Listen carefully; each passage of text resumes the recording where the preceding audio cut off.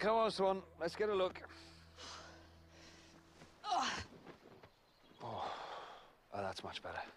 Is this really necessary? What would you have done if Regina had spotted you back there? My guess? Run.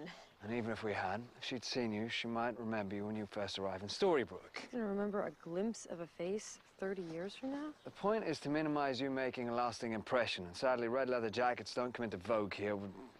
Ever. Fine. Well, the only lasting impression I'm concerned about right now is what this corset is making on my spleen. Your discomfort is a cross I'm willing to bear. Nothing compared to what might happen if we affect the timeline, which means proceeding with all caution. You're not from the world of magic. I am. Even the smallest of changes could have catastrophic consequences. Things must happen as they always did.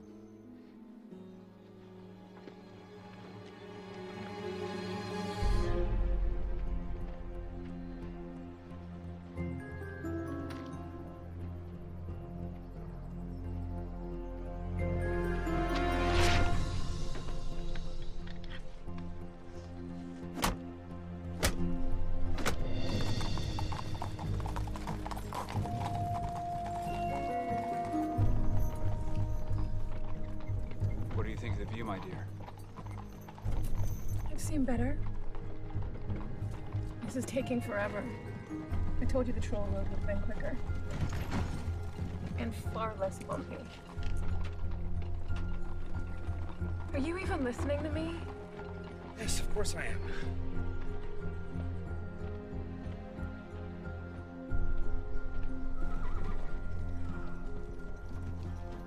Could be the Queen again.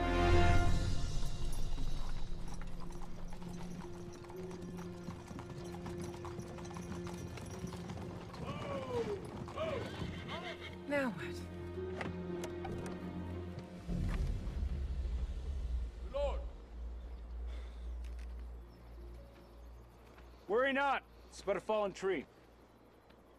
Is that... Your father. We should go.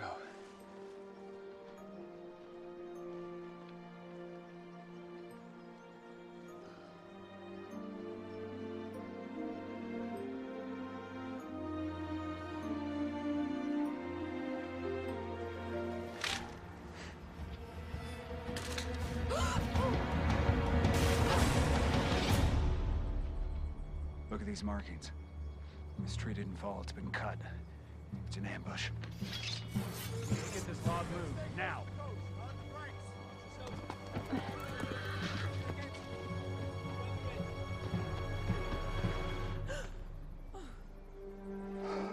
You almost gave me a heart attack.